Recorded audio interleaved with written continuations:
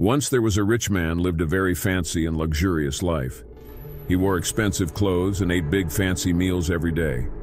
He didn't worry about how much things cost and enjoyed showing off his wealth. On the other hand, Lazarus is very poor, sick, and lies outside the rich man's house, hoping for leftovers from the rich man's table. Moreover, dogs came and licked his sores, describing his tough situation and how people, especially the rich man, ignored his needs. Despite his hardships as a beggar, Lazarus remains faithful and patient, enduring his suffering without bitterness or resentment. Lazarus relied on God for help and support, even during difficult times.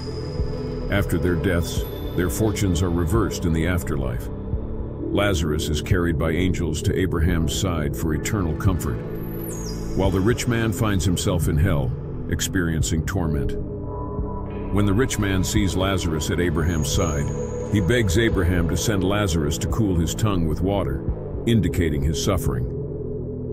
However, Abraham explains that there is a great chasm fixed between them, preventing anyone from crossing over. The parable ends with a dialogue between Abraham and the rich man, where Abraham refuses the rich man's request to send Lazarus back from the dead to warn his brothers. Abraham states that if they do not listen to Moses and the prophets, they will not be convinced even if someone rises from the dead.